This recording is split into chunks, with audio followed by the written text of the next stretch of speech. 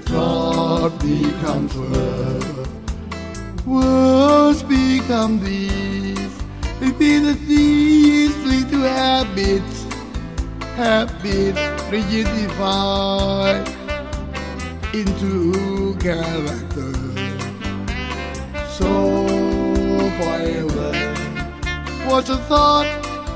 Make sure it brought out of one out of concern for all being, as a shadow following the body as we think, so we become.